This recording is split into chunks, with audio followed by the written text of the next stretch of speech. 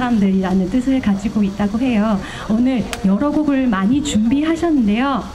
일단 저희 단원은 소개를 해달라고 하셨기 때문에 우리 제 왼쪽에 어, 플룻 들고 계시는 아주 아름다운 리더님부터 소개를 해드리겠습니다.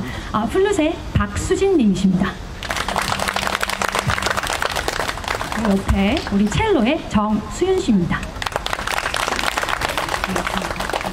네. 그리고 여기 멋쟁이 또 이렇게 피아노 우리 피아니스트 분은 박용철 님이십니다. 그리고 오늘 함께 또 보컬을 얹어주실 우리 보컬의 춘옥 씨 모셨습니다. 네, 저는 마이크를 우리 룰루락단에게 옮기면서 음악 즐겨주실 거죠? 네, 큰 박수 부탁드립니다. 룰루락단입니다.